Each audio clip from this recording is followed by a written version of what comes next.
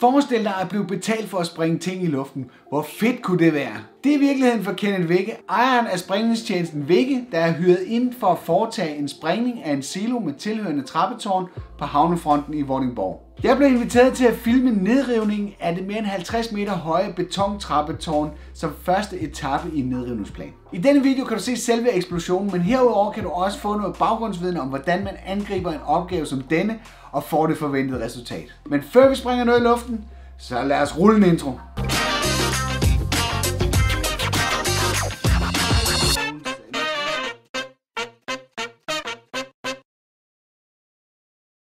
Vil du forbedre dine droneoptagelser, raffinere dine videoevner, lære om e-hjul, så overvej at abonnere på min ugenlige øh, tips, test og anmeldelse. Næsten fire årtier efter det 53,5 meter høje silobygning blev opført, er det tid til, at det skal fjernes og give plads til et nyt KISS Real Estate projekt. Dette projekt involverer blandt andet hotel, lejligheder, kontorer, en café samt konferencefaciliteter i et fleksibelt byggeri op til 17 etager. Siloen blev bygget i 1981 til opbevaring af betonpulver af firmaet Aalborg Portland og har stået ubrugt hen siden 1991, hvor produktionen blev flyttet til udlandet.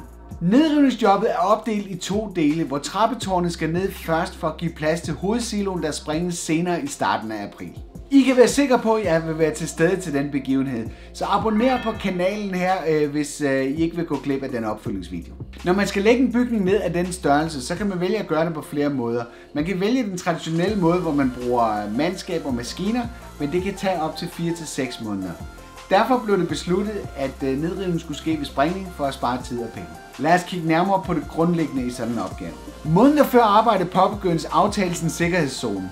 Det gøres i praksis ved at gå området igennem med et målehjul, hvorefter der sættes linjer og mål på et oversigtskort. Formålet med sikkerhedszonen er at holde offentligheden på sikker afstand under sprængningen. Sikkerhedsafstanden beregnes som det dobbelte af højden af bygningen, som i det her tilfælde giver 107 meter.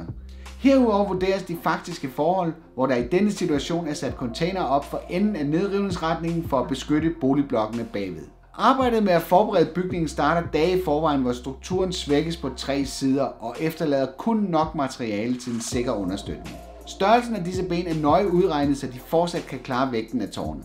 Hvert ben bliver så boret på 10 strategiske steder, så man er sikker på, at benet bliver fjernet ved detonation. Springsnor bliver lagt ind i de borede huller, tapet sammen med to detonatorer, så der er to tændingssystemer for at sikre, at ladningen går af.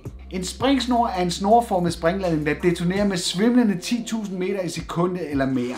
En springsnor kan også bruges som en særdeles effektiv måde at fjerne træer og pæle med. Når ladningerne er fordæmmet med grus, bliver alle detonatorerne forbundet med koblingsblokken. Alle koblingsblokke bliver til sidst forbundet med en lead-in-linje eller en tændsnor, som trækkes ud til tændapparatet, der er placeret i sikker afstand i kanten af sikkerhedszonen. Benene dækkes af med tre lag flathegn, to lag springtæppe og til sidst jernplader rundt om hele fundamentet for at forhindre spredning af fragmenter fra eksplosionen. Ved en springning som denne er detonationen i benets længderetning tidsforsinket med 17 millisekunder mellem hver af de 10 ladninger. Denne forsinkelse opnår man ved at bruge tidsforsinkede koblingsblokke. I praksis vil det lyde som en samlet eksplosion, men man starter med den nederste ladning for at give plads til betonen og forsinke det. Hvis man detonerer alt på én gang, skal afdækningen holde til 10 gange så meget kraft. Nu skal den kun holde til 1 af gangen per ben. Det er ret smart. Springningen var planlagt øh, til klokken 10, så sikkerhedszonen blev etableret allerede om morgenen klokken 6, og vejen blev endelig lukket øh, omkring klokken 9. Området blev inspiceret af springningstjenesten Vække, inden tændsnoren forbindes til øh, tændapparatet i kanten af sikkerhedszonen. Så er alt klappet og klart. Og springningssekvensen er følgende. To minutter inden sprængning signaleres i 20 sekunder.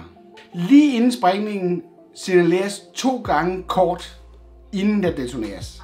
Når der ikke længere er fare ved at færdes i området, afblæses sprængningen ved at signaleres kort tre gange. Fordi bagvæggen var efterladt intakt, fungerer den som et hængsel og styrer retningen, så bygningen falder. Det er ikke sprængstoffet, der vælter bygningen, men bygningens egen vægt, der får den til at vælte. Taktikken er meget simpel. Det er lidt ligesom med en stol. Hvis du fjerner forbenene, kan den kun tippe en vej. Det gør processen utrolig kontrolleret og sikker. Lad os se på nogle optagelser fra den faktiske nedrivning.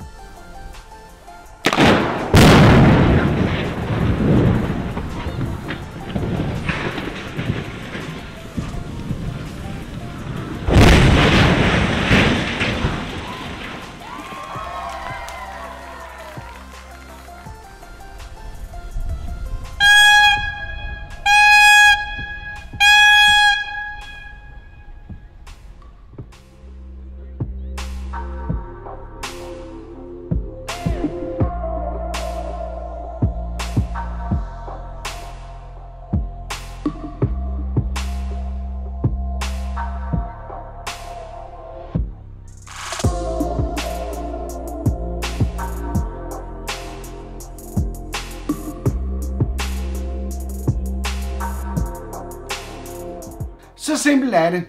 Og selvom det ser simpelt ud, så er der stadig et kæmpe ansvar, der hviler på det firma, der står for sprængningen. Specielt i områder, hvor boligblokke er så tæt på, som det er i det her tilfælde.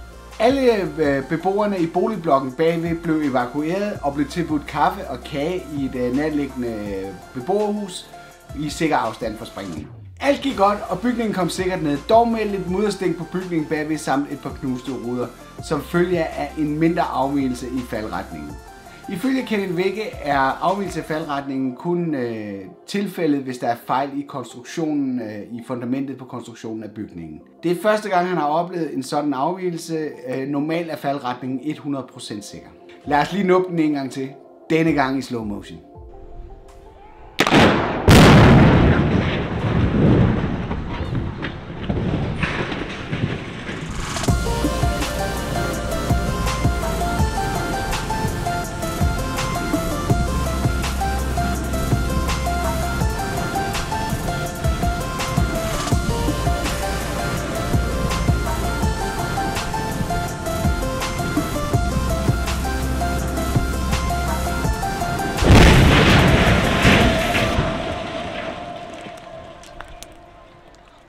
Tak til Kenneth Wick og hans hold for at lade mig være en del af det her spændende job. Øh, jeg vil helt sikkert prøve at være til stede den 6. april, når den store silo skal springes. Hvis du kan lide den her video, så vær sikker på at give den et like. Men du kan også øh, gå over på Facebook, hvor jeg har lavet en øh, gruppe, som øh, understøtter den her kanal, som hedder Drone Wheeler. I den her gruppe, der kan du hænge ud med mig og nogle af de andre øh, abonnenter fra kanalen. Tak fordi du kiggede med, og vi ses på den næste.